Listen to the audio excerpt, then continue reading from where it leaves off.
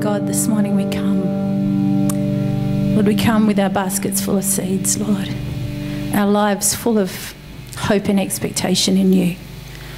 And we thank you, Lord God, that whatever season we find ourselves in, that you are there in our midst, that you walk before us, you come behind us, and that you are our all in all. We worship you this morning in this place in Jesus' name. Amen. Welcome to Baldivis Church this morning. How are you all? You had a good morning so far? Great. The senior pastor is away this morning, and we have the lovely Alethea preaching for us. Pastor Alethea is going to be preaching, so give her a big hand when she comes up later on. You don't have to do it right now. For later on, make her feel comfortable and ready to go. She's got a great word for us, and I can't wait to hear it. Good one, Alethea. Listen, I'm going to give you an opportunity right now. Just say hello to someone. Find someone that's near to you and say, Good morning. Welcome to church. Church is cool. An otherwise hot day. I feel a breeze blowing. It's blowing in my eye. I feel a breeze blowing.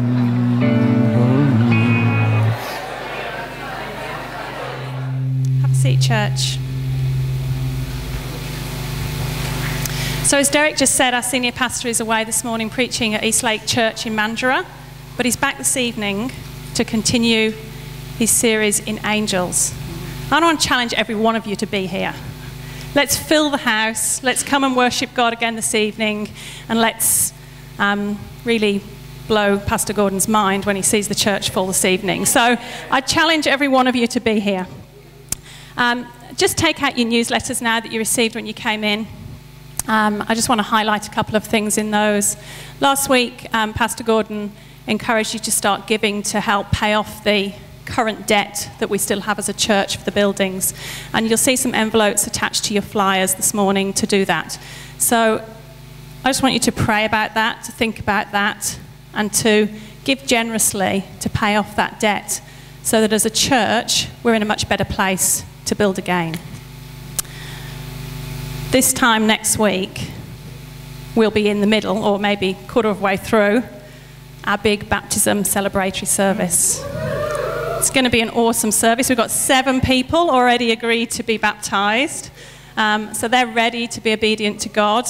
Um, they're ready to go through the waters of baptism. But I'm believing there's more of you. God hasn't finished speaking to you all yet. Um, there is more of you that are going to be baptized next Sunday. If you are thinking about that, if you need more information, if you're not sure, if you've got questions, there's a baptism class running in the Children's Ministry Centre, quarter past 11, after the service this morning. And you can just come and drop into that and have those questions and those answers hopefully talked through. Um, otherwise, tick a box on your care card to say that you're thinking about baptism, or just turn up next week with a dry set of clothes and a towel and get ready to be obedient to God. And lastly, Sun Stand Still. Who's excited about Sun Stand Still? Sun Stand Still, if this, is, if this church is regularly your, your church, if you haven't heard about Sun Stand Still, you must have been walking around with your eyes closed and your ears covered because we're excited about Sun Stand Still. Um, it's going to be an awesome campaign for us in term one. But to get the best out of it, you do need to be in a connect group. If you're not in a connect group, or if the connect group you were in last year really wasn't working for you, will you tick a box on your care card today and put that um, in the offering bucket as it comes round so that we can get you into a, into a group ready to start the campaign? I just want to read to you a little, a little bit. This is um, Sun Stand Still is really about praying audacious prayers, living with audacious faith. And Steve Furtick says, Faith is contagious. You will be empowered when you surround yourself with people who will help to bear the burden of your Sun Stand Still prayer. They'll help you keep the vision in sight when there's nothing to see. They'll remind you of God's faithfulness when your own faith is faltering. They'll increase the effectiveness of your prayer by joining their faith with yours. Christians find their faith team through their local church, not just the Sunday morning gathering either, but small groups. For us, that's connect groups, where you can dig deeper. No one's faith can survive long alone. So that really just demonstrates the importance of you being in a group and the importance of you having the opportunity to share a little bit deeper what's going on, to get the support. If we're going to pray big prayers, we need to have support around us. So tick those boxes on your care cards. If you're new with us, you can register your details on your care card. If you've got a prayer or praise point, you can pop that on the bottom of your care card or send an encouraging note to someone. But get ticking with those boxes baptism and connect groups. And I meant to say now, sorry, I forgot. But Church News is going to be on the screen.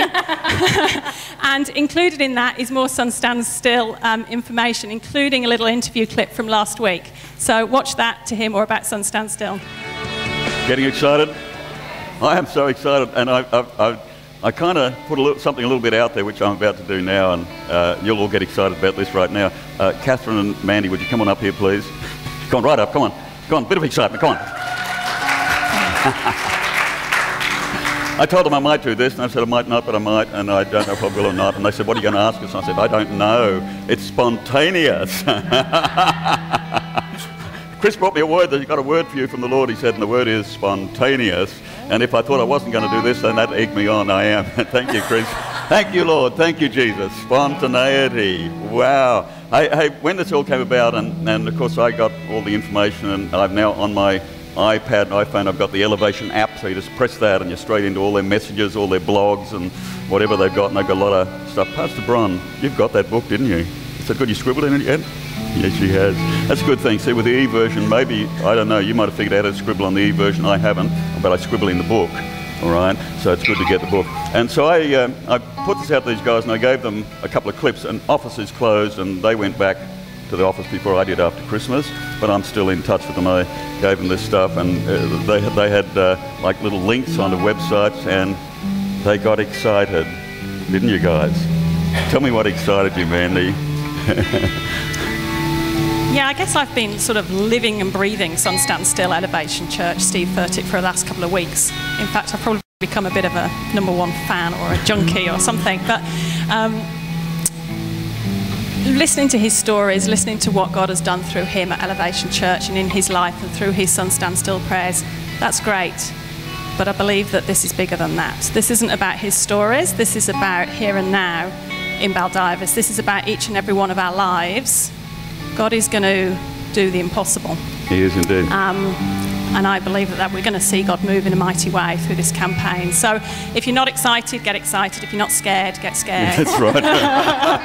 um, because we're going to see God move through this, and He is going to do, and He can do, all of the impossible things in our lives. Fantastic. So. Yeah. Catherine, you got hold of the stuff. I sent it to you. In fact, I think I gave it to you first, and I said pass it on to the rest of the staff. So uh, now you, you, you've seen what happened to Mandy, right? And you're down in your office and you hear stuff happening, right? and you're up there to see what's going on next.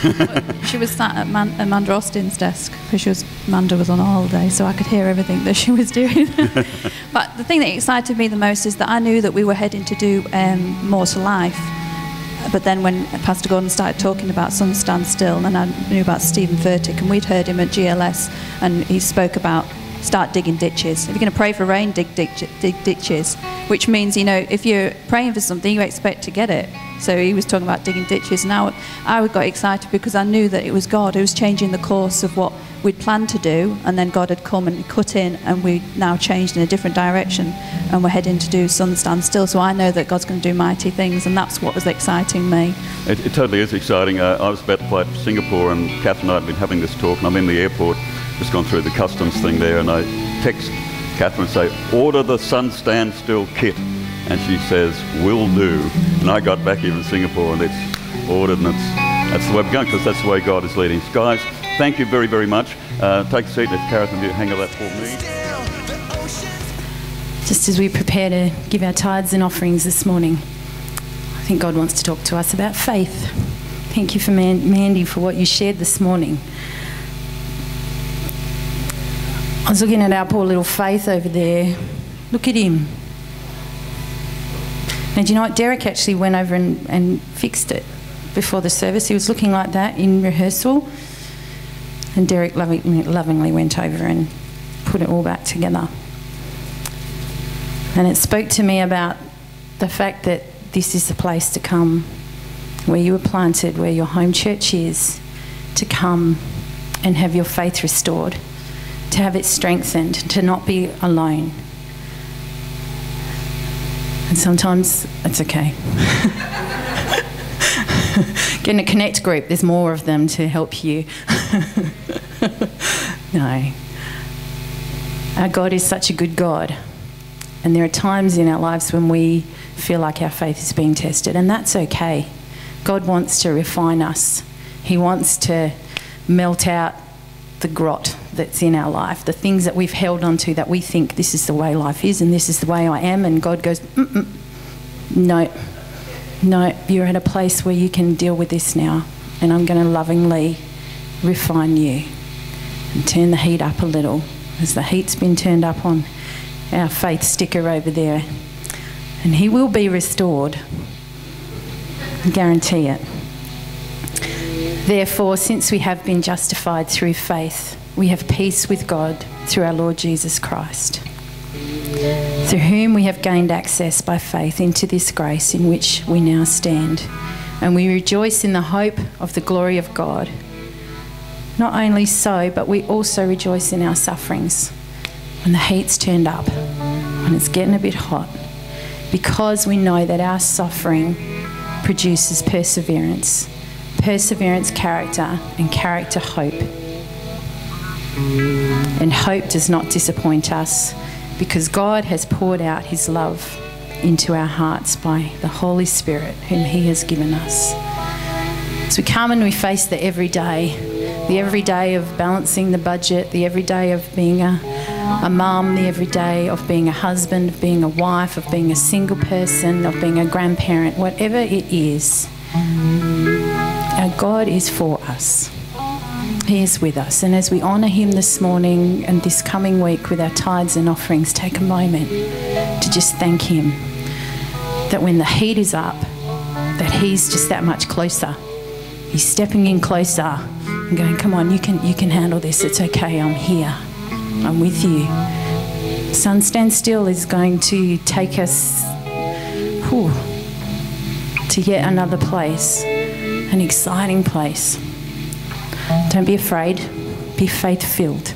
Rejoice as you give this morning. Rejoice as you come and you hear God's word from Alethea in a little while. Lord God, we just ask your blessing upon this money that we bring, Lord. That you would do far more abundantly and amazingly than we can ever ask or imagine. God, it is your faithfulness to us that we, we just give thanks for that, Lord God. May we honour you in this place in Jesus' name.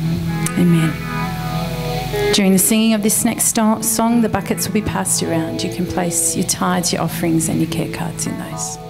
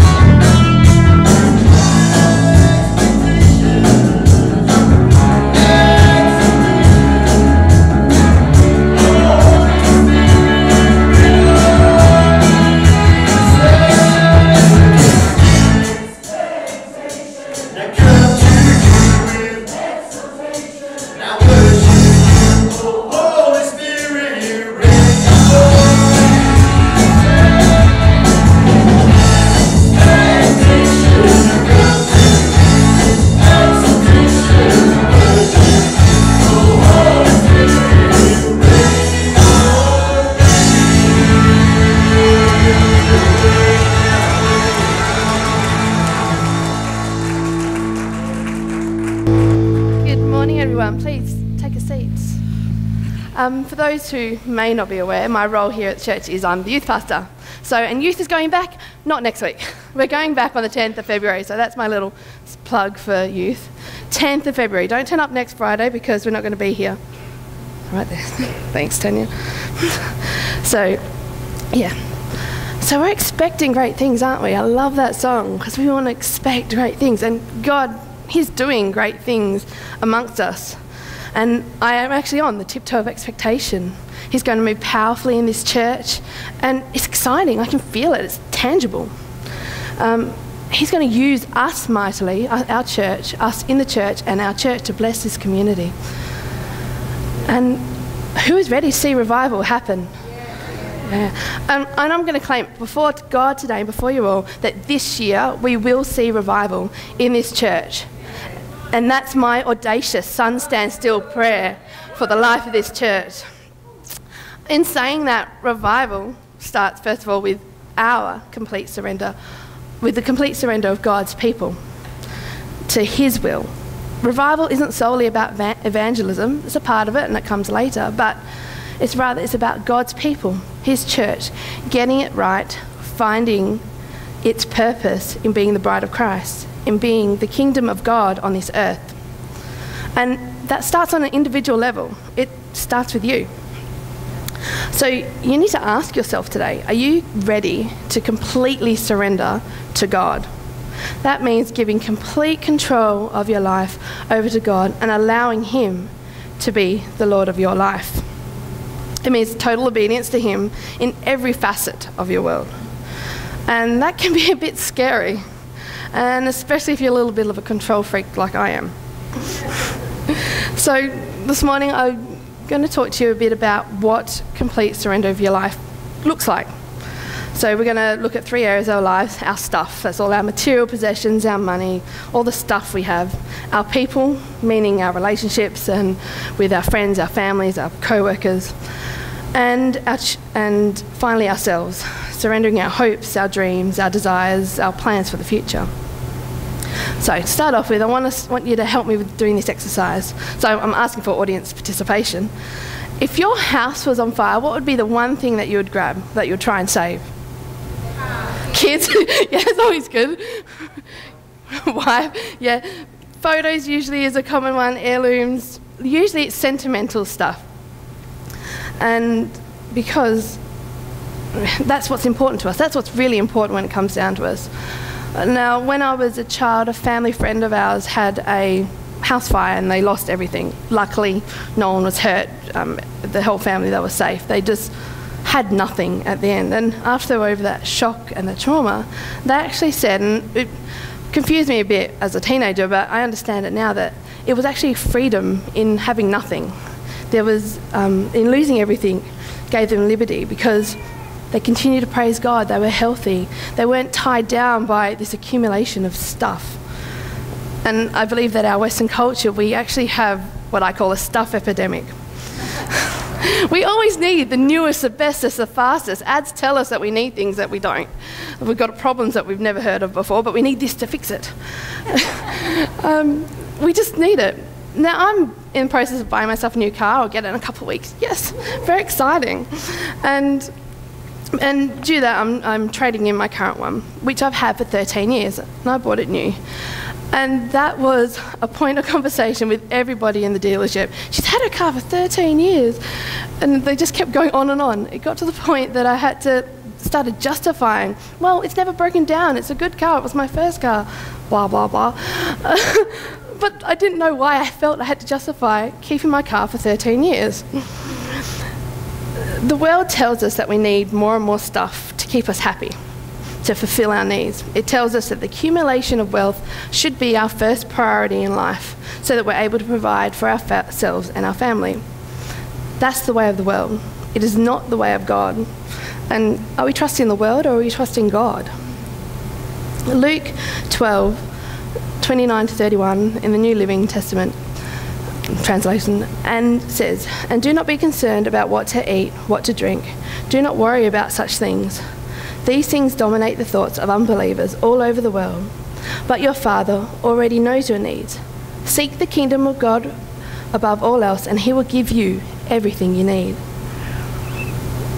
Now, don't get me wrong, I'm not against being prosperous and wealthy, but if that's our focus in life, if that, we are focusing on the wrong thing, the question I'm putting to you today is Are you re- prepared to surrender all you have, all your possessions, all your money for the kingdom of God?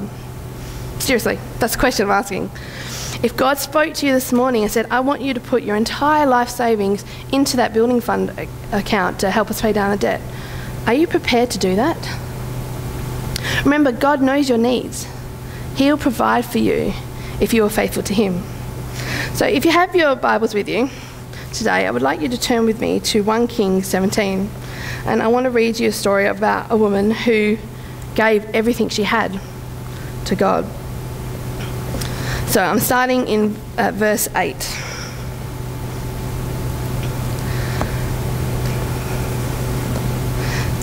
Then the Lord said to Elijah, Go and live in the village of, of Zarephath, near the city of Sidon. I have instructed a widow there to feed you. So he went to Zarephath, and as he arrived at the gates of the village, he saw a widow gathering sticks, and he asked her, Would you please bring me a little water in a cup? As she was going to get it, he called to her, Bring me a bite of bread too. But she said, I swear by the Lord your God that I don't have a single piece of bread in the house. I have only a handful of flour left in the jar and a little cooking oil at the bottom of the jug. I was just gathering a few sticks to cook this last meal, and then my son and I will die. But Elisha said to her, Don't be afraid. Go ahead, do just what you've said, but make a little bread for me first, and then use what's left to prepare a meal for yourself and your son. For this is what the Lord of God of Israel says There will always be flour and olive oil left in your containers until the time the Lord sends the rains and the crops grow again. So she did as Elijah said, and she and Elijah and her son continued to eat for many days. There was always enough flour, olive oil, and olive oil left in the containers, just as the Lord had promised through Elijah. Now, what's phenomenal about this story is that this widow, she had nothing of worth a little bit of flour, a little bit of oil, just enough to make a last meal for herself. And then the next thing she was planning to do was to die it's not rather depressing and it seemed rather hopeless. And then along comes Elijah, this man of God, who then asked her to share what little bit she had. I'm not 100% sure that I would have been willing to give up what I had to him. But she, better than me, she trusted that God would provide and that he would fulfill her promises to her. And God used what little the widow had to perform a miracle. This is not isolated, this happens again and again in the Bible in John 6, we read about the feeding of the 5,000. You're probably aware of the story. Everyone had been listening to Jesus teaching all day and they're getting hungry. So Jesus sent his disciples into the crowds to, um, to see what food they can find amongst the crowd. Picking it up from verse 9. Here is a boy with five small barley loaves and two small fish. But how far will they go among so many? Jesus said, have the people sit down. There was, a pl- there was plenty of grass in that place, and they sat down. About 5,000 men were there. They didn't count women and children back then. Jesus then took the loaves and gave thanks and distributed those who were seated as much as they wanted. And he did the same with the fish. When they had enough to eat, he said to his disciples, Gather the pieces that are left over. Let nothing be wasted. So they gathered them and filled twelve baskets with the pieces of five barley loaves left over by, by those who had eaten. Again, God used what that kid had to bless and feed others. He didn't have to give up his lunch, he chose to surrender it, what he had to serve Jesus. And then God used his sacrifice to feed the crowds. Imagine if we surrendered everything we had, our money, our possessions, into the service of God. Can you just imagine what miracles we'll see happen in our lives and in the lives of those around us? It doesn't have to be anything special. It's just whatever you have in your hand. A bit of flour and oil probably fed the village. Um, a loaf of bread and a cup of fish fed over 5,000 people with leftovers. Jesus tells us, Luke 12, 29, 32 in the message, what I'm trying to get you trying to do here is get you to relax, not be so preoccupied with getting so you can respond to God's giving. People who don't know God and the way He works fuss over these things, but you know both God and how He works. Steep yourself in God reality, God initiative, God provisions. You'll find all your everyday human concerns will be met. Don't be afraid of missing out. You're my dearest friends. The Father wants to give you the kingdom, the very kingdom itself. God, remember, that God knows what we need. And if He's told you to give someone something, or to increase your offering, or just to tithe regularly, which He does tell us to do in the Bible, He will not leave you wanting. He'll provide for you, even if you can't see how it will happen. It's called faith, and God is faithful to those who are faithful to Him. So that's sort of covering the surrendering our material possessions to God. But we also need to prepare to surrender our people, our relationships to God, both our good and our bad relationships. 2 Corinthians 6:17 Don't link up with those who will pollute you. I want you all for myself. Now, I rather like this imagery in the message. People can pollute each other. This is a passage this is in a passage of scripture which talks about being unequally, unequally yoked. The most common application used in Christian circles is um, marriage between a Christian and non Christian, which, yes, that is an application, but that's not the only thing it's talking about. It's talking about any relationship which would distract you or take you away from God and His purposes, be it a, a friendship or a relationship with a colleague, a business partner, or even with a family member. If it's pulling your focus away from God, and His purposes for your life, it may need reassessing. And it can even be a relationship that is within the church, church life context. God may be asking you or to, to distance yourself from someone, not because they're bad or anything, but just that the two of you are a bad mix together. We see it with kids, especially in kids' church.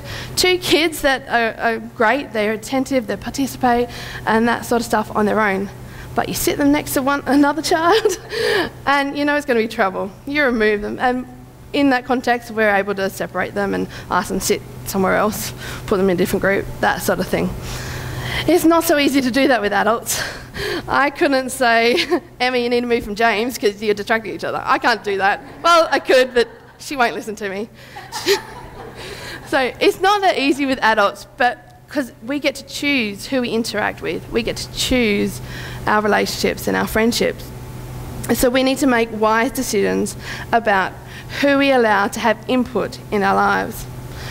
Proverbs 12:17 as iron sharpens iron so one person sharpens another meaning that those around us will mold and shape our character.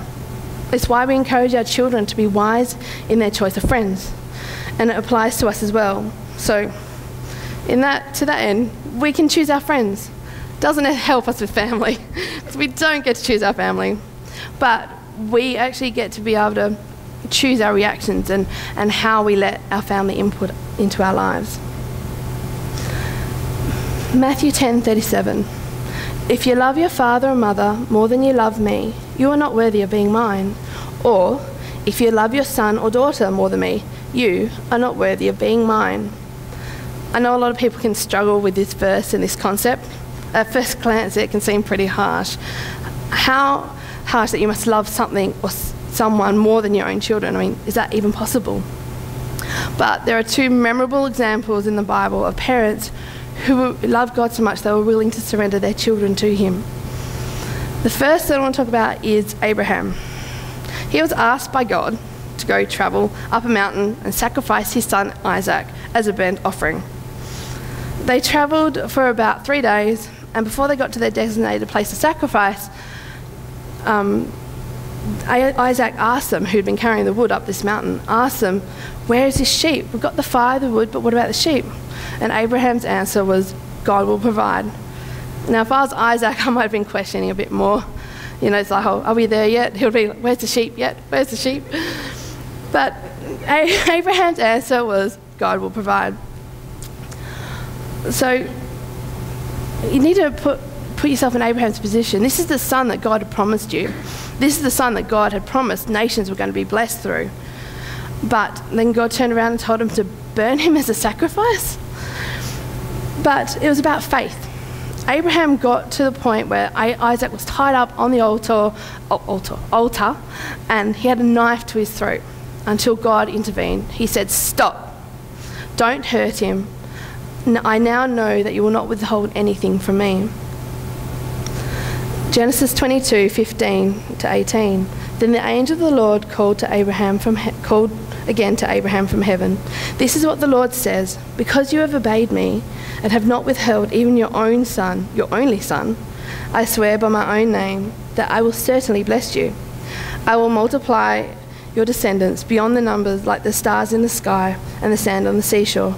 Your descendants will conquer the cities of their enemies, and through your descendants the nations of earth will be blessed, all because you have obeyed me. The second example of parental surrender is Hannah. Now, Hannah was a godly woman, but she was very sad because she had actually been unable to have children. And because of this, she was ridiculed and mocked by others. And so basically, she was pretty depressed about it. And her husband, while supportive, did not quite understand her misery. In 1 Samuel 8, he says, Why are you crying? Elkanah would ask her husband. Why aren't you eating? Why be downhearted? Just because you have no children? You have me. Isn't that better than having 10 sons? Now, Elkanah was not, obviously not lacking in self confidence. But despite being married to the great Elkanah, she was still sad and deeply desired a son. So Hannah prayed. 1 Samuel 1:10 Hannah was in deep anguish, crying bitterly as she prayed to the Lord. She made this vow, O Lord of heaven's armies, if you will look upon my sorrow and answer my prayer and give me a son, then I will give him back to you. He will be yours for his entire lifetime. Hannah was praying so fervently and passionately that Eli, the tabernacle priest, actually thought she was drunk.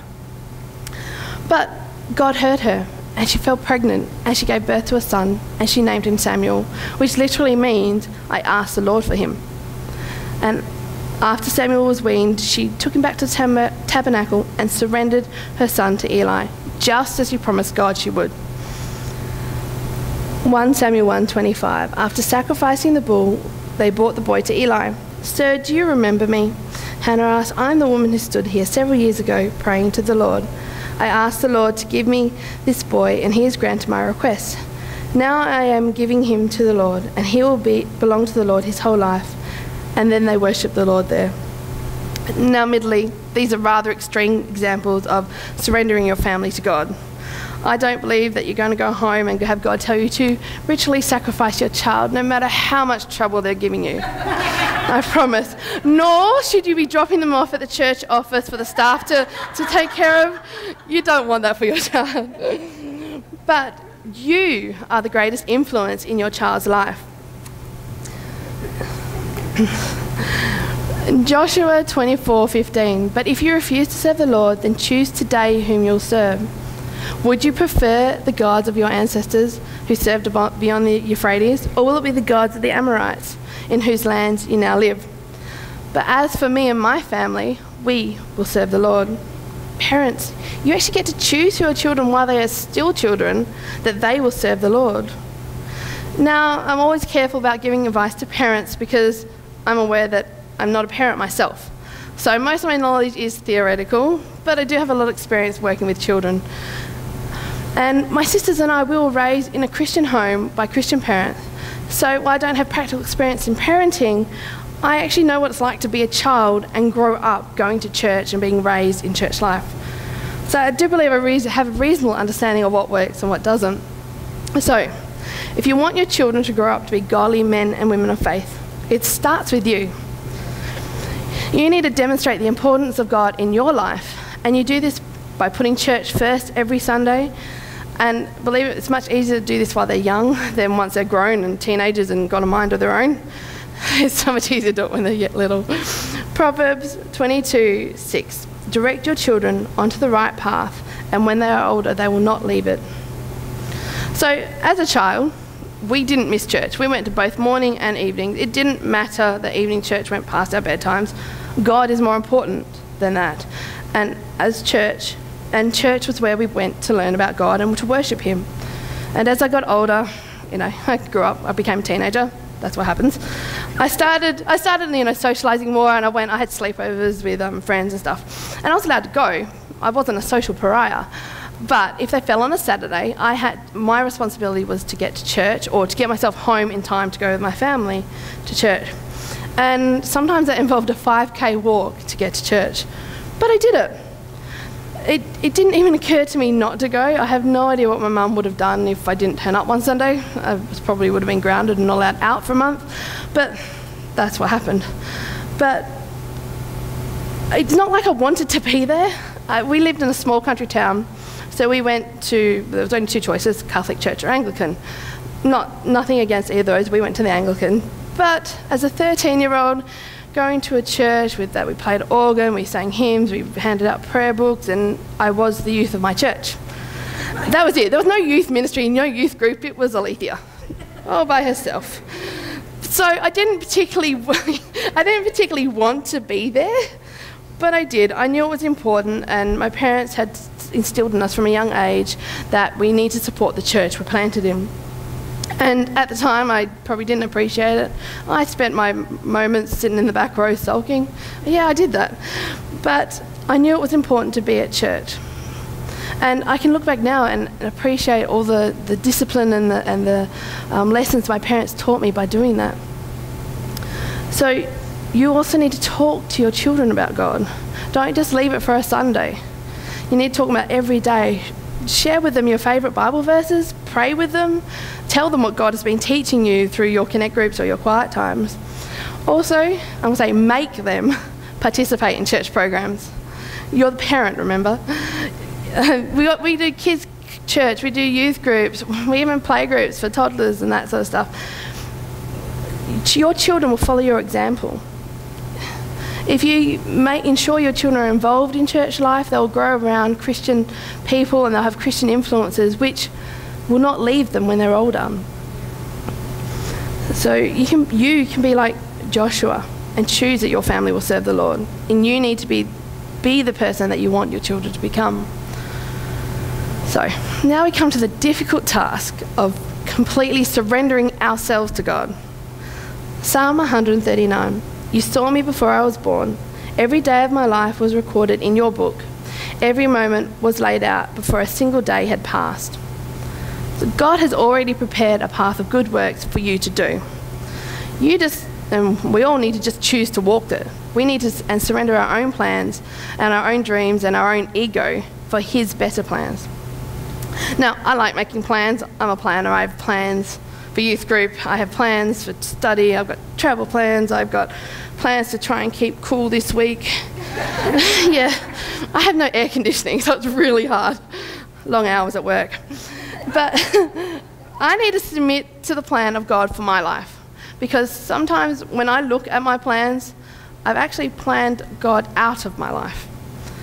So that's when I need to come back to God and get down on my knees and humble myself before God because he has better plans than I do. I need to surrender my plans to God and trust that the path God has set for me will be blessed and His kingdom will be blessed through that. And it'll be far more than what I believe possible. And I can believe a lot, but God's plans are greater than that. Proverbs 3 5 to 6. Trust in the Lord with all your heart. Lean not on your own understanding. In all your ways, acknowledge Him, and He shall direct your paths. And I admit it, there are times in my life when it's not going the way I want it to. I mean, I'm 31 years old, I'm still single, and that, to be honest, is not what I had planned when I was 15, nor when I was 20, nor when I was 25. But, and that's not, I don't want to be set up in a myriad of blind dates because I just don't have time. But I do know that because I am single, God can use me in ways that He couldn't if I had a family and I had children to look after. And I have opportunities to serve and influence God and the kingdom even wider than this church. And I wouldn't have had that otherwise. And there is nothing more important to me than serving God. And I'm willing to surrender those plans and those dreams so that I can bring glory to Him. Matthew 10 38 to 39 in the message says, If you don't go all the way with me, through thick and thin, you don't deserve me. If your first concern is to look after yourself, you'll never find yourself. But if you forget about yourself and look to me, you'll find both yourself and me. As God's people, we must be willing to surrender our plans and dreams for God, for God's, knowing that He has a greater plan and that He has a greater future in store for us than what we believe.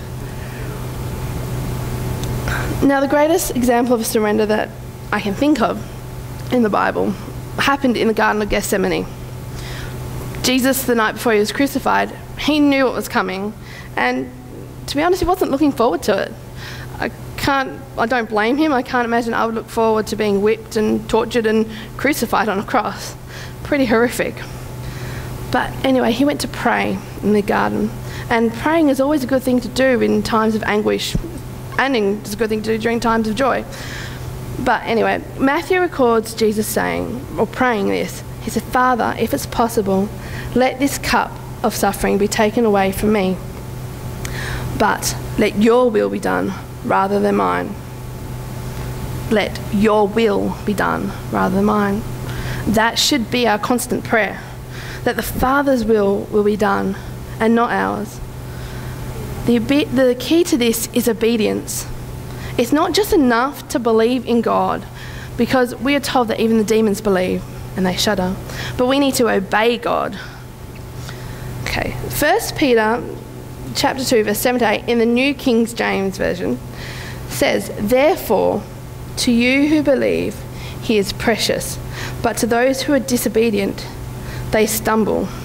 That verse puts um, belief and disobedience as antonyms, which means that they're opposites. John Bevere, in his book Hard which is available in a bookshop, um, actually explains this verse much better than I could. So I'm just going to read directly from his book. And he's talking about Peter's use of belief and disobey in that verse. John Bevere says, He contrasts the words believe and disobey. We cannot do that today. Currently, the word believe has nothing to do with obedience or disobedience. That is why many within the church do not emphasize obedience. However, in the days of the New Testament writers, they were closely connected. to believe meant not only to acknowledge his existence, but also to obey. In other words, if you were believed, you obeyed. And the evidence of not believing was a disobedient lifestyle. Obedience is a crucial element of salvation. Jesus himself notes that there will be a multitude who will believe in him and call him Lord, and even do miracles in his name, yet they will be denied entrance into the kingdom of God because they did not do or obey the will of God. It's rather heavy that you need to completely surrender yourself to God and to obey him and follow his words because the consequences is that you might not get into heaven. So if we are willing to surrender ourselves to God, that means we need to surrender everything our families, our plans, our dreams, our money, all of our possessions to God and His plans for us. He needs to be the most important thing in our life. And God is going to use whatever we have, what little we have, to bless others, to bless the church, and through the church to bless the world. We don't need to worry if there's going to be enough or anything left over for us. God knows what we need, and He is our provider. So Luke writes about the church in Antioch in Acts chapter 11, verse 21. And he says, The presence of the Lord was with them with power, that so that, so that a great number learned to believe, to adhere to, to trust in, and rely on the Lord, and, and turned and surrendered themselves to Him. So we need to believe, we need to trust and rely on the Lord, and surrender ourselves to Him and then God is going to use us all mightily. That's the first and most important step is to we can take we need to completely surrender ourselves to God. So I want to ask you again this morning, what is it that you need to surrender to him? It could be a work situation, it could be your finances, it could be your family, it could be just yourself wholly and completely, maybe for the first time ever. Only you can answer the question. So let's pray. Dear Heavenly Father, I thank you that you have a plan for us and that your plan is to prosper us and not to harm us, that you have a plan for a hope and a future, Lord. I pray that um, you help us to surrender everything to you, Lord. We ask for a revelation. I ask for a revelation in everyone's lives here this morning. I ask that you will just bless them and that you will highlight to them what they need to give to you, Lord. I just pray that everyone will be blessed and that we will go out and bless this community. Right now, during the last song, we're going to have, we call it an altar call. It's an opportunity for you to come and surrender whatever it is to God. So during the last song, if you feel that God's been talking to you, prompting you, or and that He's just asking you to surrender something, just come. It's not scary, it's not thing, but it's a it's a visual sign of your obedience and your willingness to surrender to Him.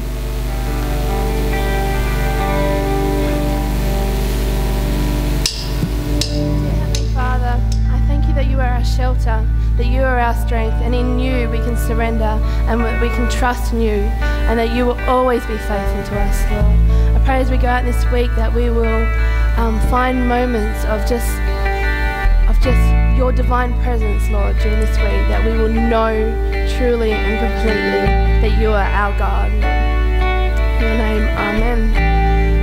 Now, don't forget that after service, we have over in the CMC back to the class. If you have any questions or any queries, attend that class, go see Mandy, and um, she'll walk you all through it. And next week is our great, our baptismal service. So just come, just be here. If you're thinking about baptism, go to the class or just turn up and, and we'll walk you through it. Um, it's going to be a great day and we're believing for many baptisms and many people are going to come to God. In Your name, that's great. So right now this, this room, auditorium is for fellowship, uh, for ministry and that sort of stuff. So, but fellowship is out in the coffee shop and in the foyer and out the back. So have a great week, everyone.